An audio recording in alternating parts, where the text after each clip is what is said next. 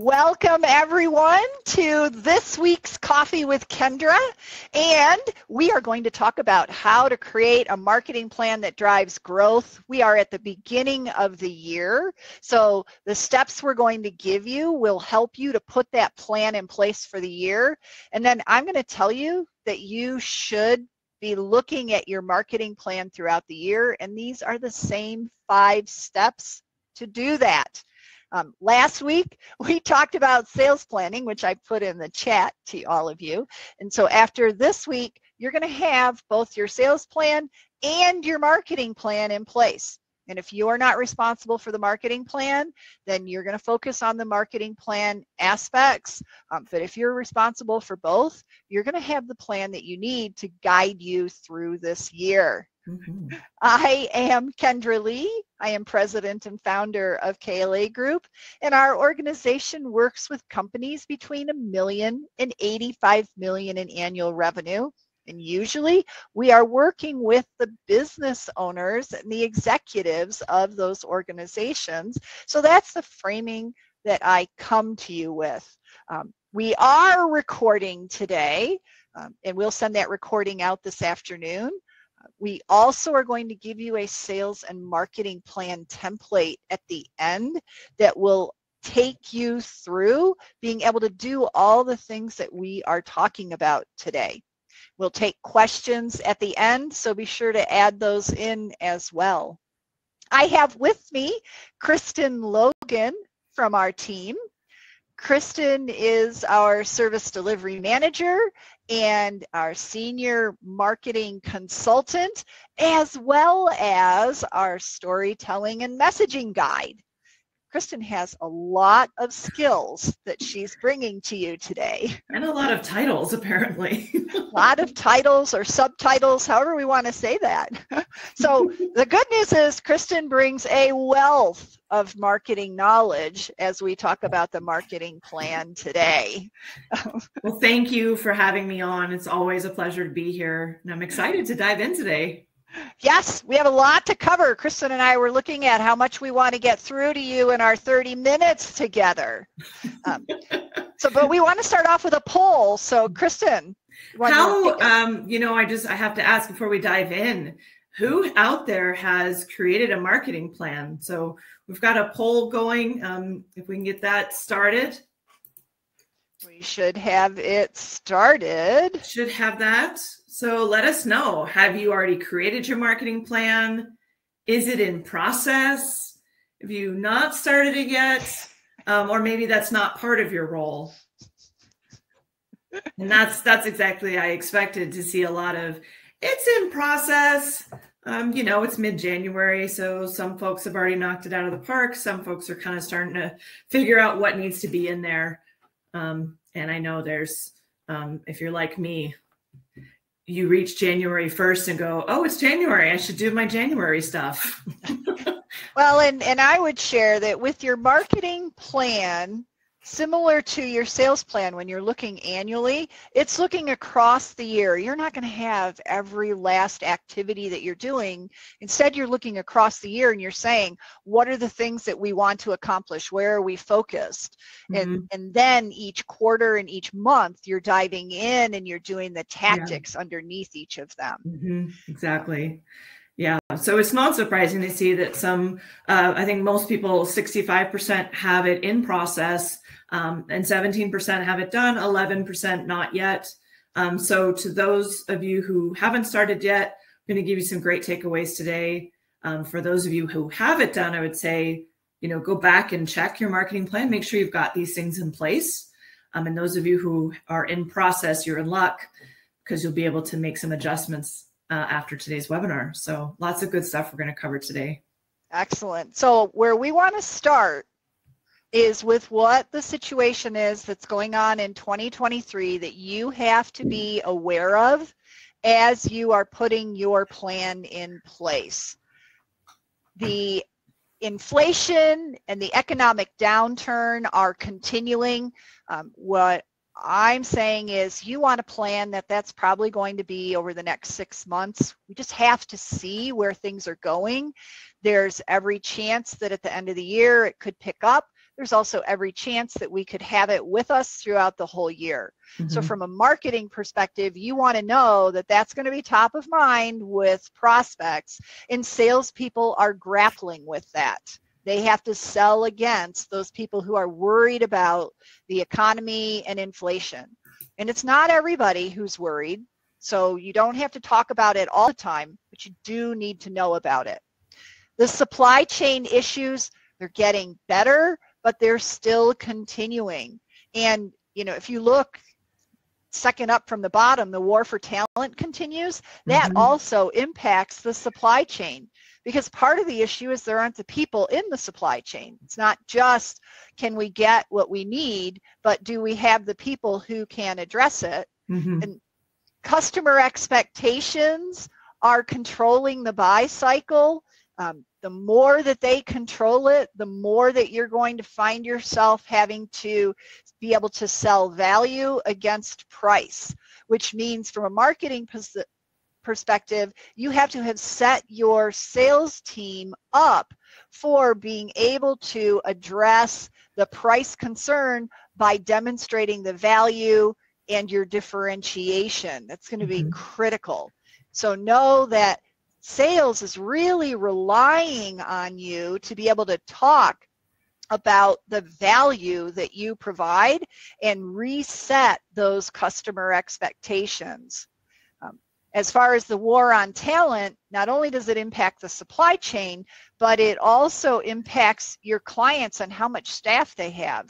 You know, I was working with one client yesterday. They're not a large company. They're 4 million in annual revenue.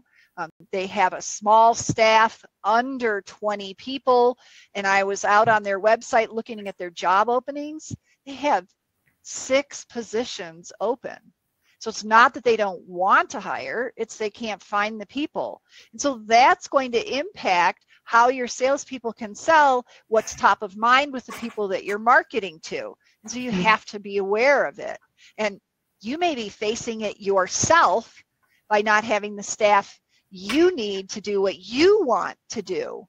Um, and then simply managing this pace of change that we're going yeah. through. Everything from automation to marketing itself is changing every time we turn around.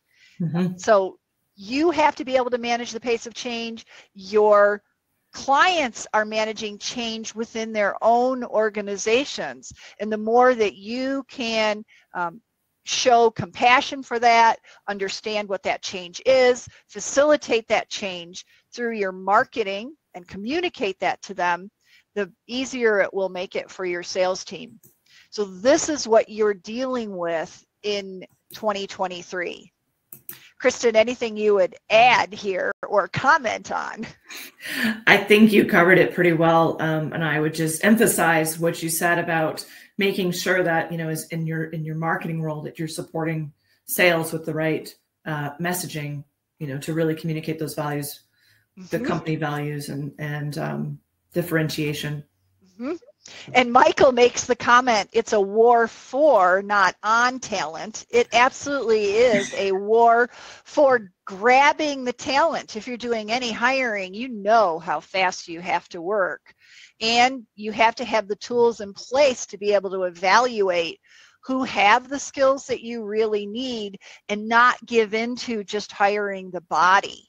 Mm-hmm. Um, and we help clients especially actually on both sales and marketing as they're hiring and trying to not fall for just going for the body because we need a body but we also need the experience is is important. Okay so step one is to set your compass we have to do it in sales it's equally important in marketing and on the marketing side, your compass has three parts. The first one is quantifiable goals. You know, when you're looking at sales, um, it's very easy to say we've got our revenue goal in place that we're targeting. But in marketing, you have to take that revenue goal now and break it down and say, well, how many leads does that mean that I need? And actually, I'm going to show you here. How many leads is sales going to generate?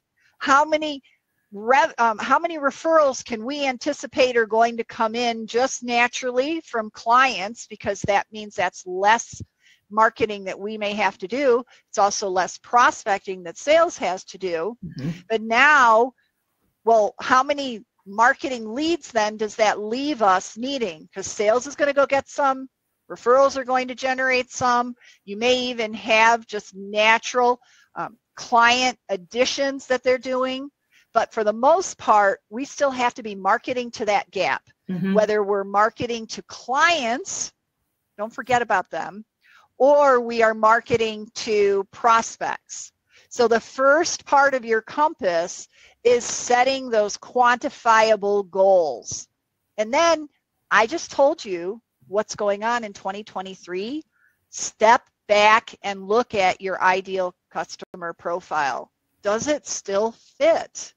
We have seen clients who have been going through radical changes because of COVID and the inflation and all the different situations that I just shared with you, their ICP is changing and you have to get a handle on it.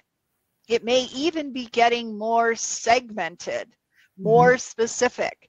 So step back and look at it and say, is this really still what our ideal customer profile is? The other way to think about it too is as your company matures, you have a better sense. You've honed in on what it is. So don't just accept it. Look at it again. Now is the time to do that. Mm-hmm. And the last element, when we're talking about marketing in your compass, is what are the key services that you should sell this year? And again, step back, do some analysis. What did you sell a lot of last year? Are we going to sell a lot of that again this year? Is it what clients are buying? what did we not sell so much in? There's one client we're putting their marketing plan together for them. They have three primary target markets. One of their target markets only generates 13% of their revenue. When we looked at what can they afford to do in their marketing, we said set aside that market that's only 13%. Mm-hmm. Yes, we'll go after it with SEO, but we're not going to put a lot of money into outbound marketing campaigns for 13% of your revenue. So, really step back and think differently about your services and make smart decisions. So, that's step one with your compass. And Kristen, I'm going to turn it over to you now. Absolutely. And step two is segmenting your markets. And this becomes, I think, even more important when you talk about, um, you know, inflation or economic strength constraints, because people are, and everybody's inundated who isn't inundated in their inbox right now, or in any sense, like we're getting information left, right, and center. If that information does not speak to us, we're going to ignore it. So we have to kind of do away with the more generalized messaging and micro segment. Um, so we've all heard of segmentation. We're really wanting to get even more um, just prescriptive and small with the segments we're, we're, selecting so that we can target that message to them. Um, so think differently about how you approach segments. Um, it's no longer just you know industry one, industry two, industry three. It's clients versus prospects. Who's engaged? who's unengaged because the frequency at which you try to communicate with them needs to be different. Um, executives are going to be different from managers, are going to be different from your users. Uh, inbound leads versus outbound leads. Um, industry, yes, but also niche. So if you think about medical industry, for instance, you've got all these little compartments in there. You've got family practice, you've got surgical outpatient centers.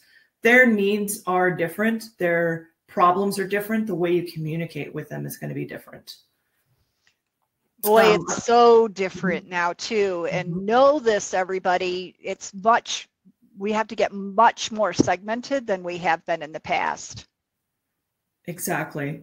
Um, and you're also going to be marketing higher up. Oops, sorry. I thought there was another slide. you're also going to be marketing higher up in the decision making chain. Uh, the decision making has moved higher. So, and and we see this with um, you know with inflation and with economic downturns, the decision making will move higher often. So you want to make sure that you're marketing to business owners and executives um, and recognize like if they don't have a, a lower level decision maker.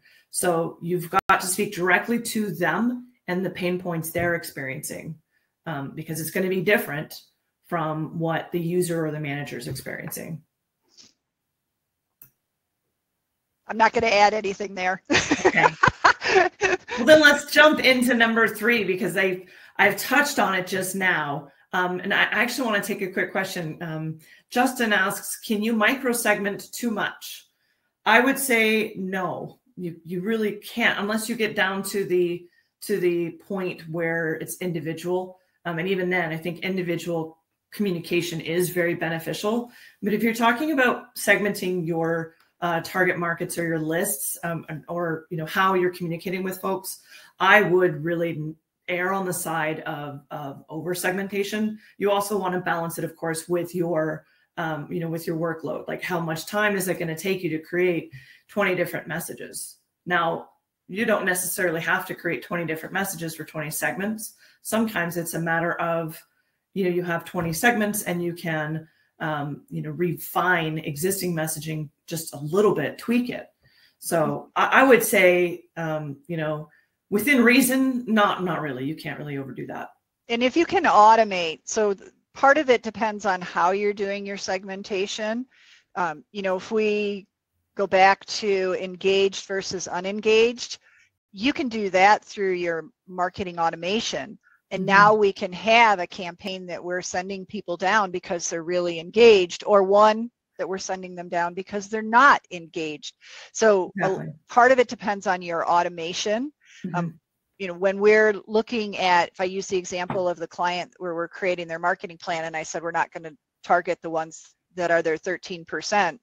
Um, it depends on what your marketing activities are too. So if we're going to do a spend to go to an event and that event is in a micro segment that we really um, only have a low 13% of revenue from or that our close ratio in it is low, it might it's not worth it to add that to our marketing plan. But if it's a micro segment that we've identified that we really want to target and we want to build our list in, then it might be worth going after. Mm-hmm. So you mm-hmm. have to think about what our goal is with that micro segmentation. But to yeah. Kristen's point, in today's day and age, no, you can't get too micro segmented. It comes down to what can you feasibly do mm-hmm. within your marketing plan because at exactly. some point then it transitions over to sales right because exactly. when it gets one to one that's sales right exactly um, delise asked um, how personas work into microsegmenting and i would say um, the short answer is it really depends it that is kind of the core basis um, each of these segments is going to have a persona profile Mm-hmm. Um, your client profile is going to be different than your prospects. Those engaged, you'll find some key differences between those who are engaged versus unengaged if you do a little digging. Um, so I would say it's it's kind of the basis for uh, segmenting to some degree. Um, We're going to save a bunch of questions till the end okay. so we can show you all five steps. All right. um, and I think that's fantastic. So let me dive into step three because it really kind of is the next step from step two. Once you've micro segmented, you also want to re examine your messaging. Um, number one, does that messaging fit your micro segments? Um, you consider the current sales situation um, that they might be in. Are they, you know, are they just kind of figuring out what their pain point is?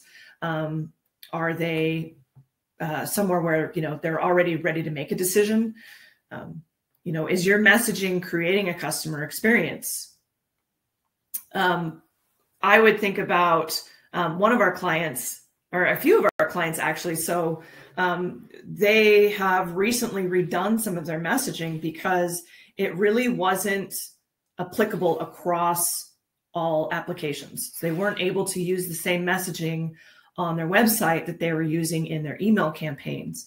And it was somewhat dated. Um, it didn't really reflect some of the core elements that we want to reflect in their messaging. Um, for instance, they may have expected that their uh, differentiators, what they thought what their differentiators were, really weren't strong differentiators they were kind of the same differentiators that other pretty much everybody else in their organization or in their um, industry tries to claim as well. So we really got to dive a little bit deeper in and define some of those elements.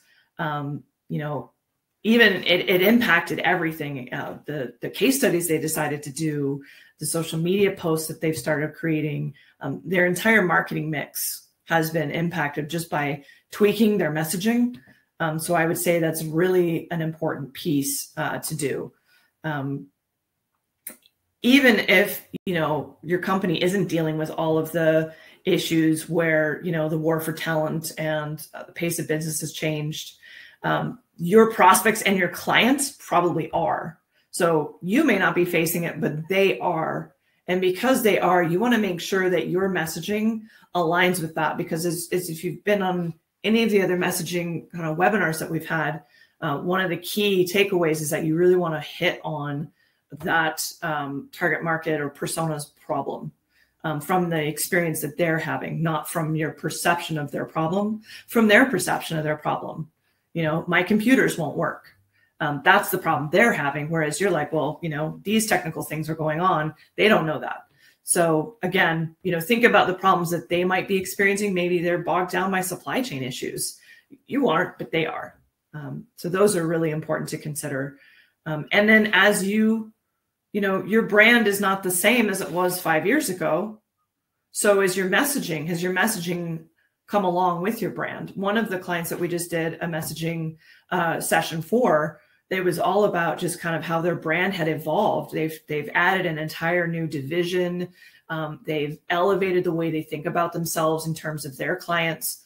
And so by doing uh, by doing uh, all of the rebranding that they had done, they were still using some of their old messaging and they knew that it wasn't working for them.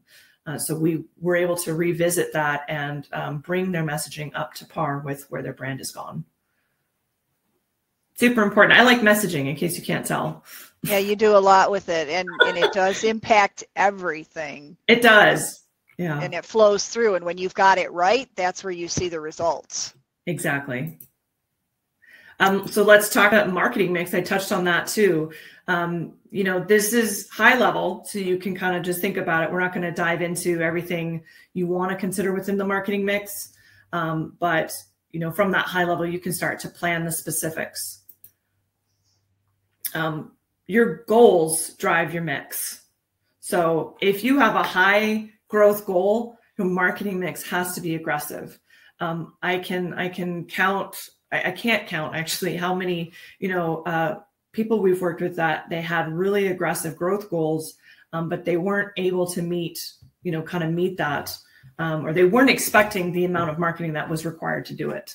Um, so if you have high growth, do expect that you need to have an aggressive marketing plan.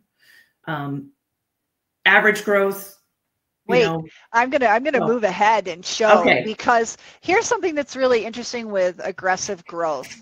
Um, because we'll hear that frequently where someone will come actually just spoke with someone yesterday they're a four million dollar client and they want to 10x their growth within the next five years okay? And so they've decided they want to be 10 times where they are. They want to be 40 million in five years. They have they don't even have a website today, which is kind of interesting when you think about it at 4 million. But that means if we're going to grow that big, yeah. that fast, then we have to have very aggressive marketing and very aggressive sales. Mm-hmm. And what we find is when clients come to us and then we put a marketing plan together and we say, well, this is what it's going to cost you you know it's going to be 12,000 a month that you're investing plus your marketing person or it could be maybe 15,000 when you start adding in ads. You have to think about what's my goal and what's my budget. Because we have another client same thing. They came in they said well we'd like to be twice as big as we are in 2 years. Okay here's the plan that gets you there. And then they went ah we can't afford that. Okay yeah. that's great. And that's okay it's mm-hmm. perfectly fine. Then you change your marketing mix. But yeah. if you really are on an aggressive growth path and that's what you have put in place, you need to know that and you need to know what the impact is going to be. So I just wanted to show this slide because this shows exactly. you what you have to do. And we're not going to talk about everyone, but mm-hmm. this is what you have to do if yeah. you're going to have that a growth aggressive growth exactly. I, I agree. And it's it's really it's you know it's the frequency of activities it goes back to that micro segmentation so this is where you want to put a little more energy and effort into having more segmentation um, so that you can really get creative with those different segments. Um, and you know the minimum mix would be all of these elements seo website email social video ads. You want to make sure you're kind of hitting all of the major bases mm-hmm. Now average growth um, you know this is where i think most people tend to fall they just they're, they're they don't want to go hog wild but they do want to continue to grow um, and that requires i think the key word here is consistent um, boy we see a lot of uh, companies that kind of they stop and they start or you know, they mm-hmm. they get really excited about social for a couple months and then it drops off or you know, they create a really nice website but then they don't touch it they don't they don't make any updates to it or anything mm-hmm. like that so um, for me average growth means you're consistently doing activities every month that are part of a, a good marketing mix um, at a minimum seo website uh, meaning you have one and you're keeping it current um, email, you definitely want to be doing that, and social. Um, depending on you know your company and your goals, you would also want to consider video and ads. And then if you're status quo, which means that you really just want to maintain mm-hmm. and you want to replace those clients that you're losing to attrition, you still want that consistency. Your pace is just going to be shorter. Mm-hmm. You're only going to have selected target markets, but notice we have the same minimum mix SEO, web, email, mm-hmm. um, because you want to maintain that. You still have to maintain your presence. You, it's just you're not doing it as frequently. Mm-hmm. Exactly. I'm, I'm, watching our time, Chris. Okay. Keep to our commitment. Step five. um, you know, your website is an incredible tool at your disposal. Um, this is the place that you're sending people when they're when you're doing SEO, when you're doing ads, your email campaigns, your social events. It all goes back to your website. Um, this is where you get to tell your story. Your messaging gets added here. We've got to make sure that um, you know this is a place that's within your control. So you want to make sure that you are turning it into something where people will convert. Um, you're giving lots of opportunities for that to happen. Um, oops, I clicked the wrong thing. Sorry. um, so your messaging aligns. Whatever messaging you're sending out in an email has got to align with what's on your website. Um, your calls to action. Oh man, there's some beautiful websites out there and they have great messaging and you're just looking through it and you're just mesmerized by how gorgeous it is and there's no call to action um, you really do have to tell people what they need to do um, and what action to take. So make sure you include those. Give them a way to contact you that's easy. No 20 field contact forms, please. um, and assets. you, I know I'm a I'm a joy kill. Please don't don't do that. Um, assets. Uh, so not everybody's going to come to your website and want to contact you right away. They want other ways to interact with you do you have a video series they can engage with or a PDF that they could download that'd be really needy for them? Um, so think about lots of different ways to convert. Think about your customer's journey. When they come to your website, they might be ready to buy, they might be just aware of the problem. So consider those different points in the customer's journey and have something that can convert each one of those folks at different points in the journey on your website. So these are the five steps that you're going through as you are doing your marketing planning. Um, and uh, we went through them quickly, setting your compass, segmenting your markets, re-examining your messaging, especially in light of what is going on this year. Not a bad thing to do every year. Determining mm-hmm. your marketing mix, which aligns back with setting your compass. Exactly mm-hmm. right? And then making your website a conversion machine because it is your home. It is the place that you are driving people to. It's the one thing that you control.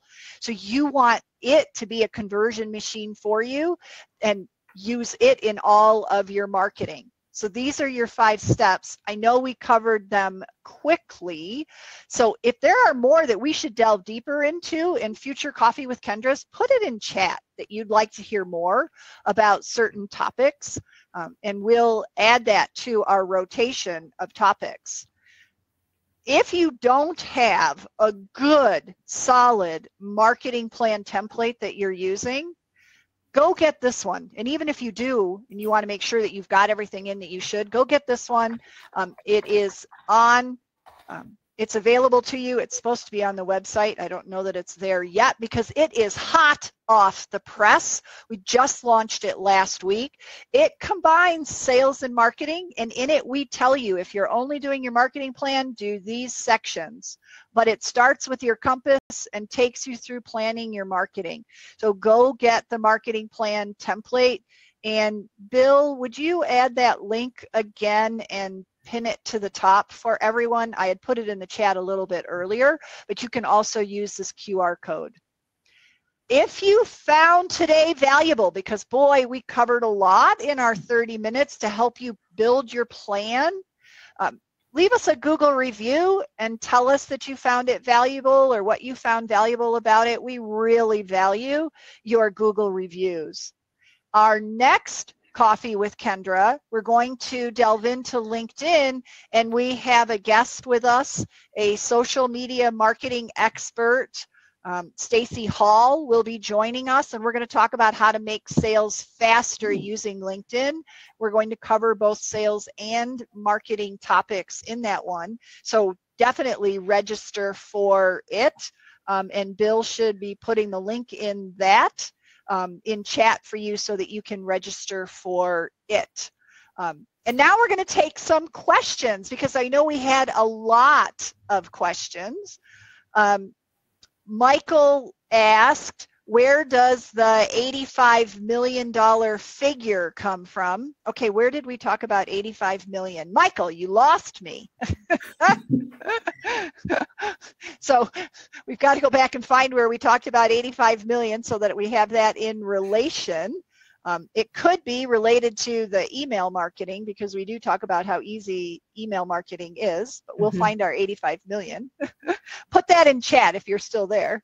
Um, how personas tie how do personas tie into micro segmenting was a question that Delise had asked. Um, and I don't know if had you answered this question? Um, I did touch on it briefly, yes. I think okay. so. I would say, Delise, if you feel like you still have a follow-up question, feel free to add that into chat and we'll, we'll answer.